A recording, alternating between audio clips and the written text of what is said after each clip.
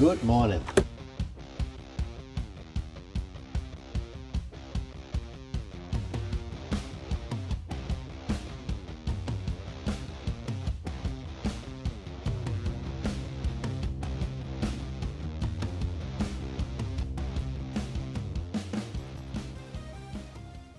Hi guys, welcome back to the channel and um, another Tech Tuesday. Well, Tech Tuesday is now in full progress uh, and let's see what happens. And of course, this time we have a new system going on or we have a new problem going on with the Land Rover. The Land Rover today is going to be changed because it's got pneumatic uh, suspension and I think I have a small leak on there. It's been going on for a little while. Sometimes it's there, sometimes it's not. When it gets cold or hot, it actually comes on or off and so forth. Uh, today, there's been nothing going on but there must be something that actually happens. Well, let's go and have a look at the uh, front suspension valve. We're gonna take it apart, have a look at it, see if we can find the leaks in there, if there is any. So uh, stay tuned. Well, having a Land Rover is always fun. Now, this is the very early start in the morning. I haven't started yet. It's completely cold. You can see the dew is still actually out here on the windows. And uh, now it's been sitting overnight. And it's a little bit interesting to see what's going to happen with the pneumatic system here in a second. If I don't mistake it wrong, I might have had a leak for a little bit of a while now. And it will occur once in a while when it gets cold outside. And it's been standing for more than six, eight hours and I'm actually mistaking actually uh, suspicion is going to the forward suspension valve at the moment but I haven't elevated up yet and I haven't measured the um, distance in the fenders towards the axle heights and all that stuff as well. But uh, I don't think I need to because we will see it in a second. Now it's cold and let's see what happens when I go ahead and start it up um, because it might be a little bit different. Let's go have a look. I just started it and I can hear the compressor is running at the moment so it was low on uh, air. So with a little bit there it is. The sign came on suspension fault. And the sign over here looks like the uh, don't come knocking when uh, this is rocking. That's how it looks like. Looks like this uh, came on. And it probably is because the car timed out with the uh, compressor running for too long without being able to build up the proper pressure in the system. So if I leave it here and elevate it, for example, up to the highest uh, suspension point, if I elevate up there and bring it back down again and turn the car off and turn it back on again, most likely this light will be gone. And um, so therefore stay tuned and uh, we'll take care of this problem right now. I don't know if we're going to change the suspension valve or we're going to go ahead and see if we're going to renovate it. Uh, if it can be renovated I'll probably try that first so we can do both actually at some point. But if it's going to run for next year or whatever with a renovation with new o-rings inside the valve or the suspension valve I think we'll start from there. So uh, please stay tuned hit the like subscribe button and um, let's see where this takes us I've just elevated the car to full extent on the suspension. Let's see what happens when we start it up again. Here we go. It's in progress. Still running. But what I'll do is I'll put it back down to normal driving height. So let's take it here, suspension and normal height selected, and it's gone back down. And I guarantee you now, it'll work absolutely just perfect and this is basically uh, the indication of a small leak in the system. Um, had it been 100% correct there would be absolutely nothing going on uh, when you start up in the morning and you shouldn't be able to see it. This leak here is not so big that I can see it's actually let's say leaving the front end or the rear end down or one side down and one strut down or whatever. And I just changed all the struts uh, about a year ago. So I don't actually expect that's the case. I'm more I'm more susceptible to think that it might be the uh, front suspension valve in this case because they do they are kind of weak after all these years. So uh, we'll see. It but you see no uh, suspension sign coming on after this. So this is one of the clues to go and have a look for a very small leak. And we'll probably go ahead and do that with a little bit of soapy water and it will actually go ahead and show me um, we'll bleed the system but we'll use soapy water and then we'll see some bubbles coming out where the leak is actually present. So uh, stay tuned. Now let's find out if it's actually one or the others. There are three suspension valves on here the one in the front it actually takes care of the whole front end. I've elevated this up on its maximum right now and normally you'll go ahead and let it sit for 48 hours or even more if you can measure the uh, distance from here to the um, top bolt down there or just to the tire whatever you feel like and the same thing on the other side and then write them down on a piece of paper and after a certain amount of period, let's say over for 48 hours or even more than that, you can see if it's actually lowering, losing the pressure in the front or it's going to be down in the back. You do both in this case. That way you can determine whether it's the front or the aft. I've been paying attention to mine every time I came out in the morning that it's actually coming up slightly in the front and uh, that's why I'm believing that it might be the front suspension that I have to have a look at. So uh, let's go ahead and try that. First, turn the wheel all the way over. You can elevate up and put it off. I'm not going to do that. The valve is actually located right up here and it's quite easy to go ahead and take that inner liner off and then get to it even though you don't take the whole thing off you can still get to it anyway so uh, that's what we're going to try right now before we get that far we'll go ahead and pop the hood as usual. And uh, the reason why we do that is because I need to go down here and find the relay uh, or if you want to take a circuit breaker, I like to, I prefer to take the relay that elevates uh, that controls the compressor and also the elevation, the automatic elevation, so it doesn't suddenly uh, deflate on you and come down on the stomach and then you have no space in the fender basically to work on. So uh, for security and safety you can also go ahead and take the um, the battery completely off. That would also work but I'll just go ahead and take the relay first. So here I just popped the cover for the relay and the battery. Um, relays are here. In the top here you can actually see you got a relay called R7 that's for the elevation right there. So uh, we'll go up and take that off. It's the one up here. As soon as you take that one out it's going to be safe to work on the pneumatic system. So that's what we're going to do next as an extra precaution there are also two fuses if you want. There's one up here it's a 5 amp that can come off. And then you're also got one down here which is the top one over here. And of course we get the police coming by as soon as we start talking but this one will take care of that too. So here you got another one.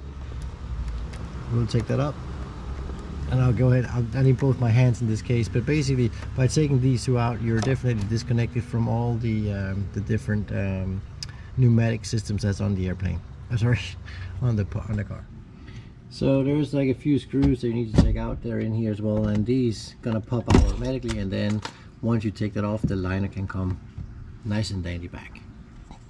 So here we are. Uh, let me show you where that valve is and how it looks like. It's coming underneath the uh, front fender. You can actually just remove a few of the screws and there you go.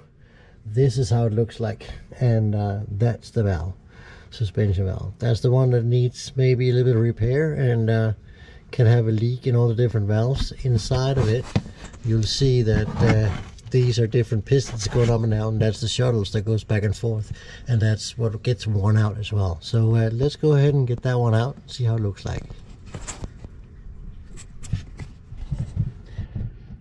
the way it comes off? Is actually just to uh, push it upwards and then it should come off. I haven't disconnected mine yet but I'll show you. There you go.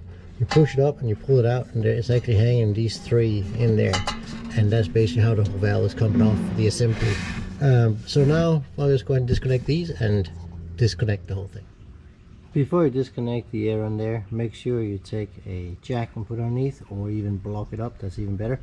Uh, I'm just going to take a jack this time and then we're going to have a look at it I've just loosened one of the knots there as soon as you hear the hissing sound, just let the uh, air bleed off slowly so it doesn't explode in your face or have any other things come up. So just give it a bit of time for the air to bleed out. That should be fine.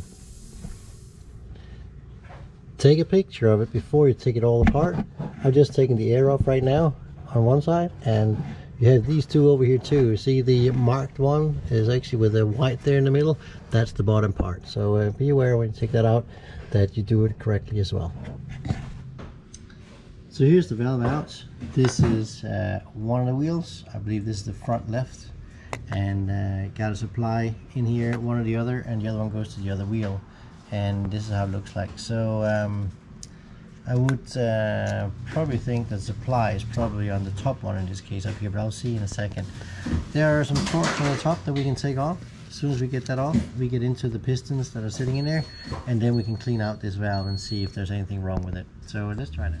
So here we are on the uh, workbench. This is actually Torx, and the Torx is a Torx 20.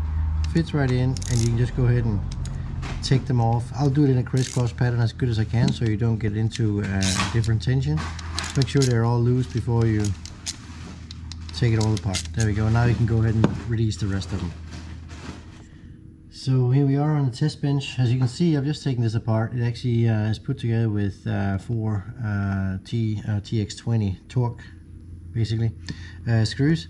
And in here, when you go ahead and get it all taken apart, really be sure to pay attention to what's going on on the outside. Because if you see some other colorings, it could be two things. Um, if you have some of the debris in the air system that might come in and has a little bit of a white ish color to it, it could be one of these O-rings that are actually located here on the top uh, or uh, they're also put in here around the valves which is sitting straight in there as well that might be leaking, could be. Now um, if it's only one of those, then it will be either side that's going to go ahead and deflate on you. If it's the one that has supply, then it'll be both of them. So um, in my case here, I'm just uh, going to change the O-rings to some other O-rings to see if it actually works, um, just to make sure. A little bit thicker ones, these are the ones that were in there, and uh, I think they have been worn out over the years so I'm going to change that as a maintenance. Um, if you buy a complete set on Amazon or wherever you want to buy them in does it doesn't really matter then these are the valves that fits in straight in here as well. So there is a small o-ring down there you need to replace and actually in here there's an even smaller one that needs to be replaced as well. This is the o-ring that I'm talking about. That's how small this thing is very very small sitting there. Um, and that of course in turn fits straight into the uh, valve itself like such. So um, make sure you change them all if you start up on them and then also what I'm using is I'm using a few cotton sticks to clean out everything inside of it including this as well. Uh, I'm going to give this a uh, small overhaul and see if that's going to take care of my problem. And if it does then it's going to be running for a little while again. And um, nevertheless I'll know if I need to replace the whole valve unit if I need to. But anyway let's try this out first and see what happens. What I'm using here to uh, clean these is actually a mass airflow sensor. Um, it's evaporating and it does not um, infringe the uh, gaskets that goes in here as well and the o-rings as well or otherwise you might find something that's going to be swollen up. Once you have it completely clean at that moment you're ready to put in the valves slowly again and mount the last o-rings and then you can assemble the whole assembly. So uh, let's do that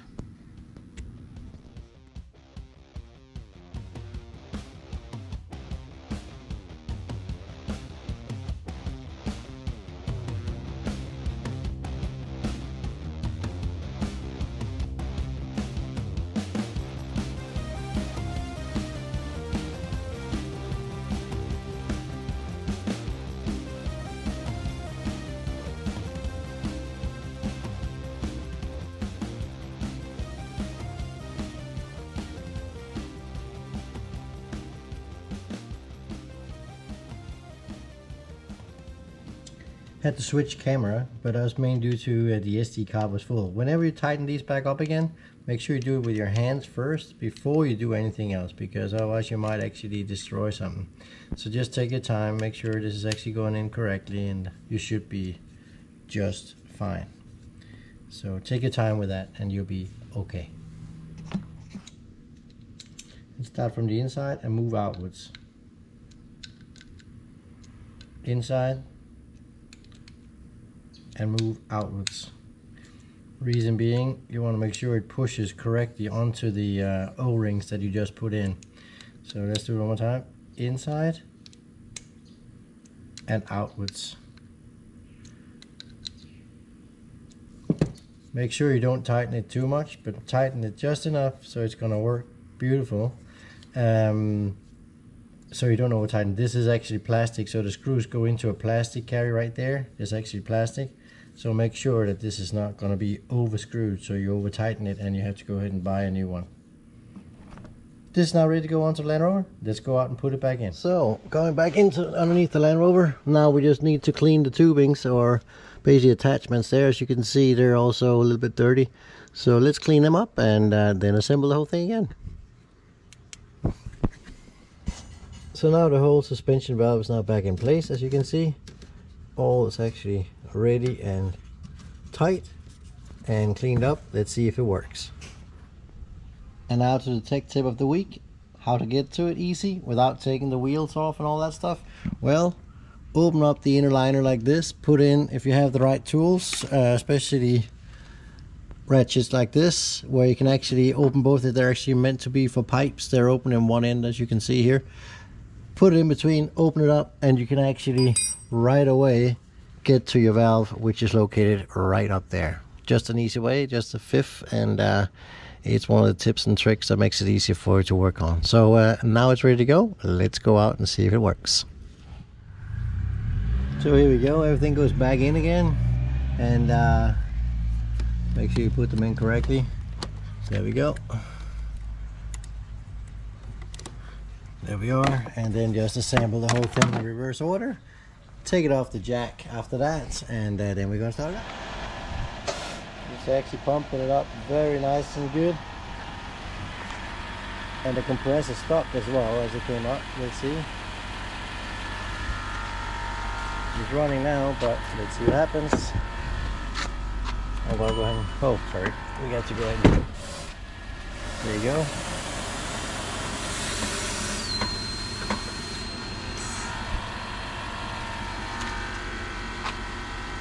Running.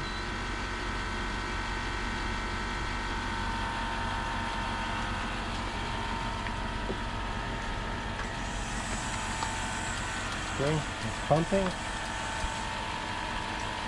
Beautiful. First the back, then the front because of the lights. It's now fully extended. Let's just have a look on the other side. That's fully extended too.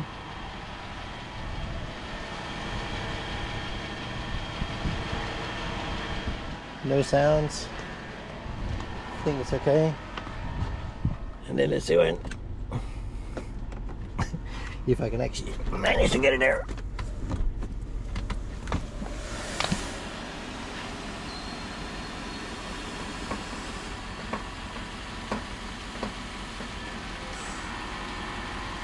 Came all the way down. So I think it works now. Let's go out and have a look and see.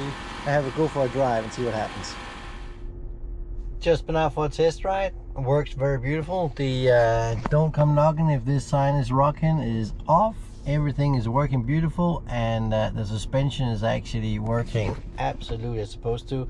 Going on high low and uh, good clearances individual balance as well. So all in all few new o-rings in that front uh, suspension valve that worked out well. Uh, so let's see how it goes over the next uh, many weeks and uh, you can always buy a new one put in. It only takes about an hour to fix it and that's about it. So uh, I hope somebody else is going to be inspired to go out and try it themselves. Make sure you got clean tools and that's it. The um, tools you're going to need will probably most likely be cutting sticks say Torx 20 you'll need um, a few ratchets uh, number 12 if you're doing metric and about a half inch when it's like uh, imperial and uh, then you're actually more or less done after that. So it just takes a bit of work and a little bit of effort to go ahead and clean it up and uh, assemble it again. Take your time with it. Don't rush it. And if something doesn't feel right it probably isn't. So stop what you're doing. Look back go a step back and then try it all over again and you'll be fine. Hope you enjoyed it. Like the uh, hit the like and subscribe button and I'll come back with another video as soon as I can. That was the Tech Tuesday for this time.